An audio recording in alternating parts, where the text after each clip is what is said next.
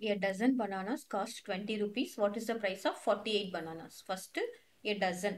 One dozen is equal to how much அப்படின்னு நமக்கு தெரியணும். ஒன் டசன் அப்படின்னா என்னது? Twelve bananas is one one dozen ஓகேவா ஸோ இப்போ நம்ம என்ன பண்ணுறோம் ரெண்டு வேரியபிள் சரியா? பனானாஸ் ஒரு வேரியபிள் ருப்பீஸ் ஒரு வேரியபிள் ஸோ அதை நம்ம எழுதிக்கலாம். பனானா பனானா ஒன்று ருப்பீஸ் ஒன்று அமௌண்ட் ஒன்று ஓகே ரெண்டு வேரியபிள் ரெண்டு வேரியபிள்னா பனானாலாம் வந்து எக்ஸ்னு வச்சுக்கலாம். அமௌண்ட்லாம் வந்து ஒய்ன்னு வச்சுக்கலாம். சரியா?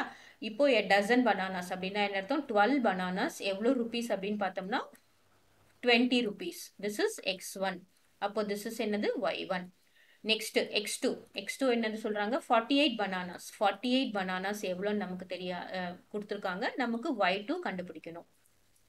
சரியா? இப்போ நம்ம என்ன பண்ணணும்? திஸ் இஸ் வாட் வேரியேஷன் டைரெக்டாக இன்டைரக்ட் வேரியேஷனாக நம்ம என்ன பண்ணணும்?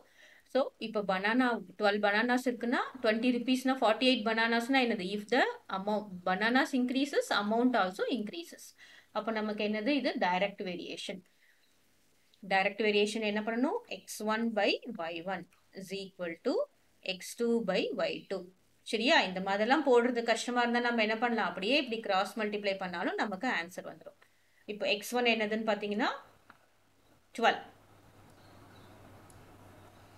x one is twelve one என்னது? Twenty that is equal to x two என்னது? ஃபார்ட்டி எயிட் ஒய் டூ நமக்கு தெரியாது. ஒய் டூ அப்படியே வச்சுக்கலாம். அப்போ நம்ம என்ன பண்ணோம்? அப்படியே கிராஸ் மல்டிப்ளிகேஷன் ஓகேவா so y two multiplied by twelve is equal to forty eight multiplied by Next, what is y2?